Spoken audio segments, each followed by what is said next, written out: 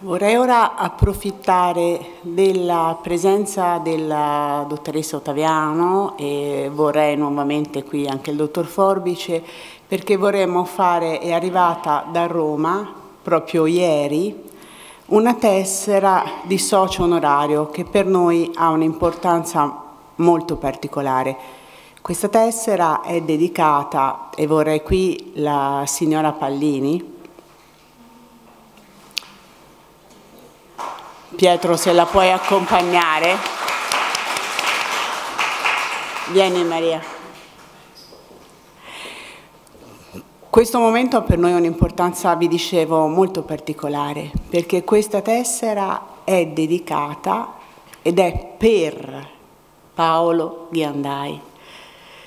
La signora Pallini, lei non ne vuol parlare, ma è la persona che ha donato alla LILT la nuova sede in via Abba, che è l'appartamento dove noi potremmo fare il, gli ambulatori per la vita, che è il progetto che sta partendo, che sono i nostri ambulatori di prevenzione in collaborazione con molti specialisti dell'azienda ospedaliera e con i medici della dottoressa Roncella che ancora ringrazio per tutto l'ambito senologico. Questo evento viene a chiudere la campagna Nastro Rosa che era proprio dedicata alla senologia e quindi vorremmo fare in questo momento, se vi accomodate, grazie, questa consegna ufficiale.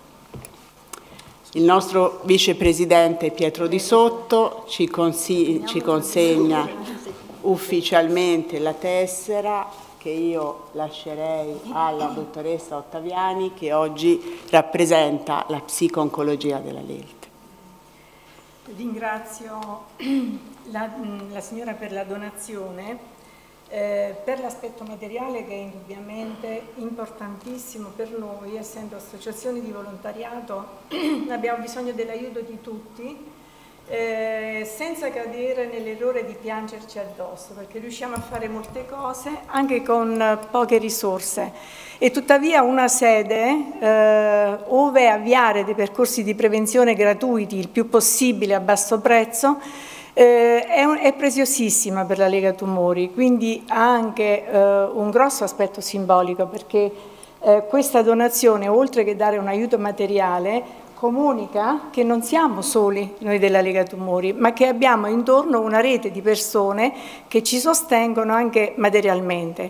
Sostengono la nostra azione di volontariato, ma soprattutto c'è una grande ricaduta sulla popolazione tutta, perché sapete benissimo che gli screening non coprono tutte le fasce di popolazione, coprono soltanto le, le, le popolazioni più a rischio. Quindi c'è bisogno di prevenzione, soprattutto nelle fasce non coperte dagli screening regionali. Quindi grazie a nome di tutta la Lega Tumori e soprattutto di noi che ci occupiamo di benessere del malato. Grazie signora.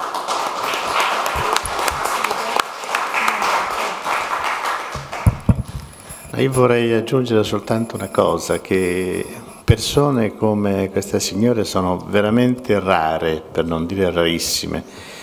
La generosità che lei ha offerto, perché di solito poi queste cose quando avvengono si lasciano in eredità, ma una donazione come questa sono veramente cose encomiabili per, eh, perché si dà senza chiedere nulla, ovviamente, quindi soltanto per il piacere la generosità di poter dare a un'associazione, un ente come la LILT, che si, ormai da 90 anni si occupa appunto di difesa e prevenzione del, di questa grave malattia.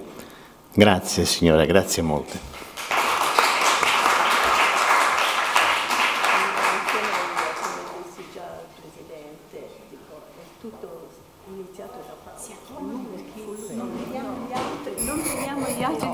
Parole. No, dico, io sono un mezzo, sono stato un mezzo perché Paolo, quando morì nel 79, era poco più che un ragazzo, non aveva ancora 11 anni e lui pensò di lasciare i suoi risparmi alla Lega eh, contro all'AIRC, allora si conosceva solo quella.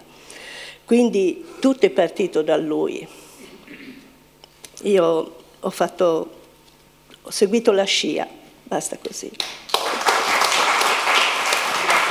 Grazie a lui.